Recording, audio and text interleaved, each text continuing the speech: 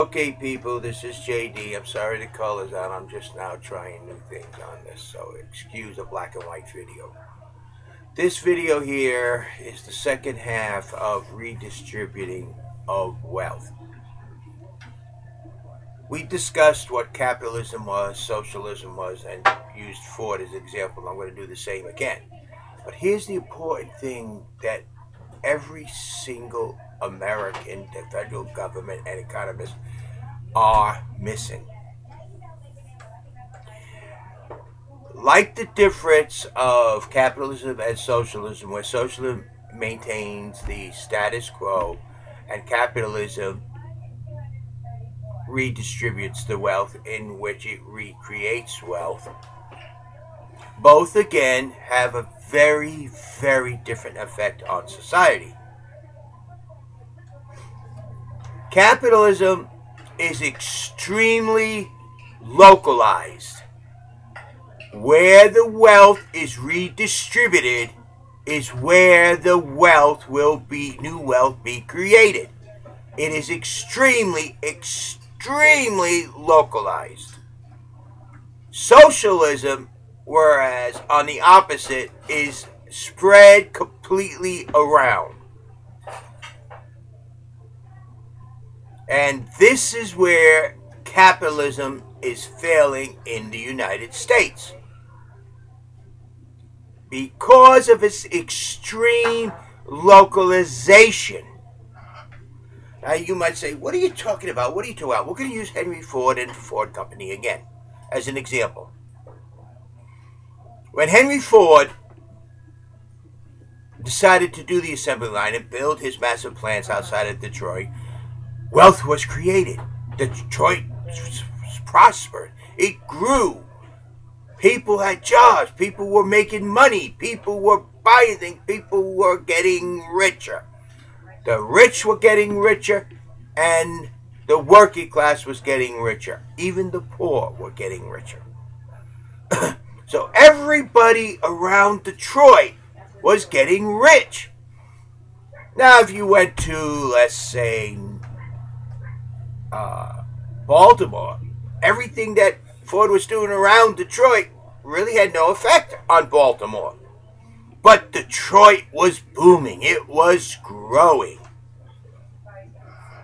And of course, Baltimore had its capitalists, and that's who, who developed. And throughout the United States, we had all this capital that was being redistributed within the United States to create new wealth. And it did, and the country prospered. Now, whereas socialism tries to maintain the status quo. So, for example, a very prosperous area, its prosperity would be moved to an area that was not prosperous. So therefore the status quo was maintained. No one got greater than the other. They all maintained the status quo. Now, let's get back to capitalism. Ford invested in Detroit. He redistributed his wealth. He created new wealth. He got richer. The area got richer, etc., etc., etc. But what's happening now? Ford has decided through their CEO and their board directors to move their factories elsewhere to third world nations where labor is a lot cheaper because shipping now allows it. So they take their factories out of Detroit and they place them elsewhere. They're continuing to redistribute wealth.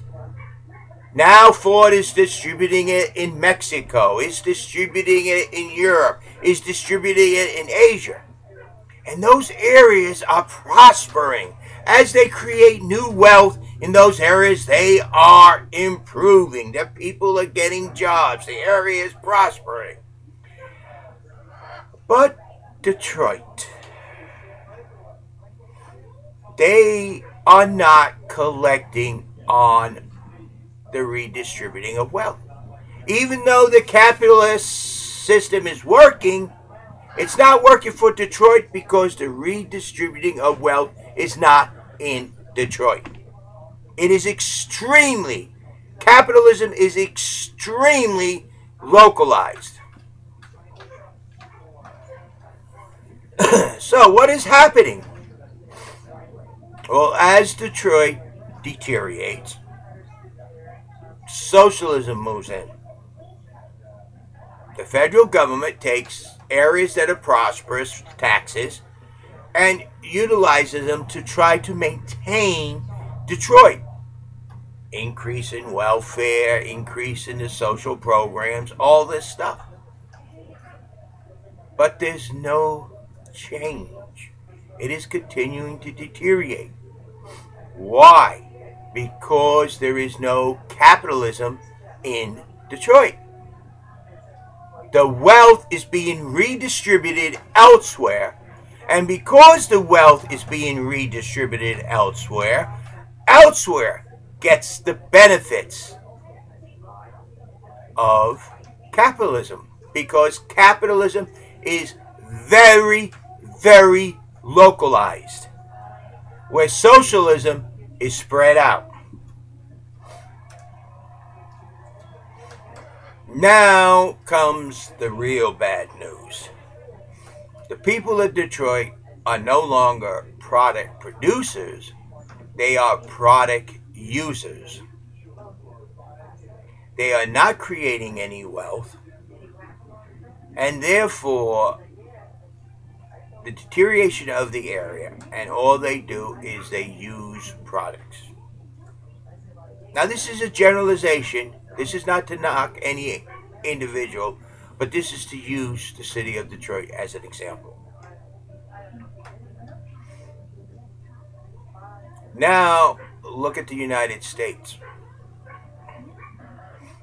The rich are getting richer, and the poor are getting poorer because capitalism or the redistributing of the wealth is outside the United States. Because this redistributing of wealth is outside the United States to create new wealth, capitalism is outside the United States. The United States is becoming a user nation instead of a producing nation. Eventually, if this continues, this trend continues, and does not stop, the United States will end up as a socialist nation. People, rich people, you might think you're doing greatness building other nations, but you are neglecting your home. The rich are getting richer because capitalism is outside the United States. And the poor are getting poorer because capitalism is outside the United States and socialism is taking over. I don't want to hear anything about banks. I don't want to hear anything about the NWO. I don't want any of that political. I want straightforward, this is economics. This is something that everybody, including the federal government, must realize. Capitalism is extremely, very localized. Socialism is spread across to everybody. Capitalism is the redistributing of wealth to create wealth and will do that in the areas where the wealth is redistributed. Socialism takes the wealth that's created from one area and move it to another area that is not creating wealth, thus maintaining a status quo. How else can I tell you, people? This is something you all must understand especially the rich. this country made you rich, you need to reinvest into the country. You need to redistribute your wealth into the United States and care for the country. So that the United States never becomes a nation of users, but maintains its lead as a nation of producers. Because once the nation becomes a nation of users and socialism takes over, there's nowhere in the world the rich will be able to hide their wealth. So to prevent socialism, we must maintain capitalism. But remember that capitalism is extremely localized and therefore it must be maintained within the United States. It's great to build third world countries, but not at the destruction of another. And that is what is happening.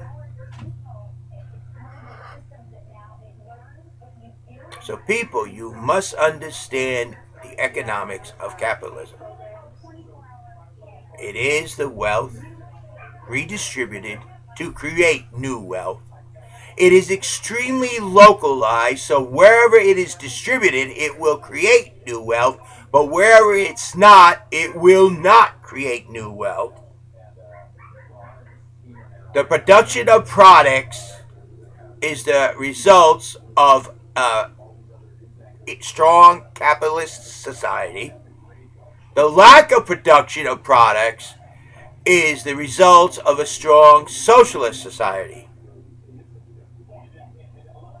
Now remember, I said there's four forces at work.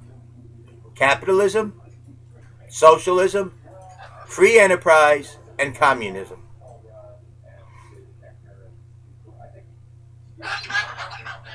Pure runaway capitalism and free enterprise is the best, but it's very, very localized. Socialism with cap, uh, communism is, in my opinion, the worst. But it evenly spreads the wealth among all, and product production is poor at best. Whereas free enterprise and capitalism, though very localized, is massive product production and brings new wealth to the area that capitalism is utilized. That's the bottom line, people. And that's something that everybody is overlooking. The redistributing of wealth to create wealth is very, very localized. And that's capitalism. Whereas the confiscation of everything by the government and evenly spread it throughout the nation is socialism and communism. So we have capitalism and free enterprise, socialism, and communism. What is it that you people want for this nation? And now the real problem is it really rests on the shoulders of the rich. Are they going to start reinvesting and redistributing the wealth within the United States and allowing growth of new wealth within the United States? Or are they going to continue to reinvest and develop third world nations until the United States has become a third world nation? That's what is happening. That's why I tell you, political parties are no good for this nation. That's why you need somebody like me to be your next president. To turn this all around and go to the principles of our Constitution and the very core principles of our founding fathers. for this nation, the United States of America. You have to decide. And I don't want to hear anything about NWO, and I don't want to hear anything about the Federal Reserve or banks. Here is the problem. When are we going to fix it? Is the question. Thank you. This is JD, presidential candidate for 2012. Understand strongly that capitalism and free enterprise is extremely localized. Socialism and communism is spread out to maintain the status quo. Thank you. Have a nice day. This is JD.